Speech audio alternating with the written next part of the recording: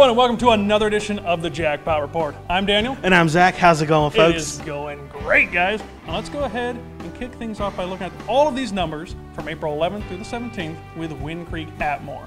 Now, you guys won 770 separate jackpots, paying out a total of over $1.9 million. Very impressive.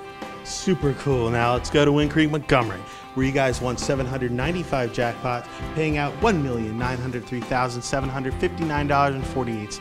Very precise, Zack, as always. Now, wrapping it up with the numbers is Wind Creek Wetumpka, who, wait for it, paid out 1,100 separate jackpots, totaling over $2.8 million. Insane.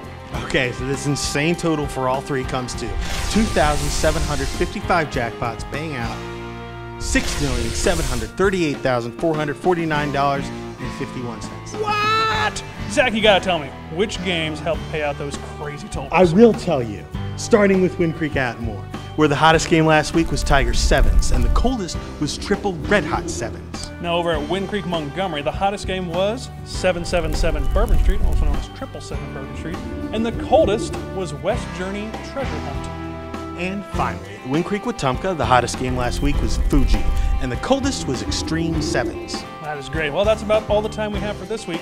Zack, where could our guests go if they want to take a look at all of the Jackpot Report histories and hot and cold game archives? I can tell you that. It's windcreekhospitality.com slash hot games. All right, guys, we'll see you next week.